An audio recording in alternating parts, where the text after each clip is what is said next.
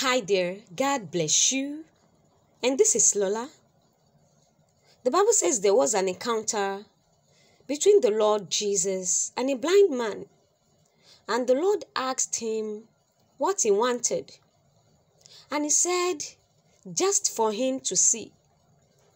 And the Lord said, according to his faith, he received.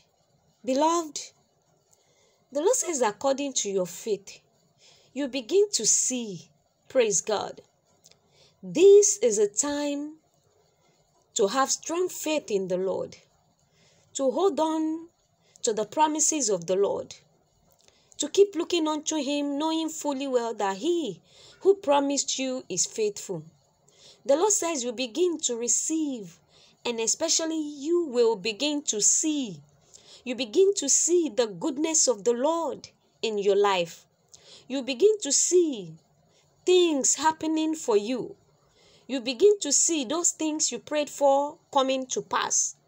You begin to see words of affirmation of faith that you prayed over coming to manifestation, coming to reality. Beloved, the Lord is opening your eyes and you will begin to see a lot of secrets being revealed to you. A lot of information is coming, beloved, and this is very paramount to where the Lord is leading you. Connect to the faith that you have in the Lord more than before, and you will see the goodness of the Lord in the land of the living. Praise God. God bless you. I love you and I'm praying for you.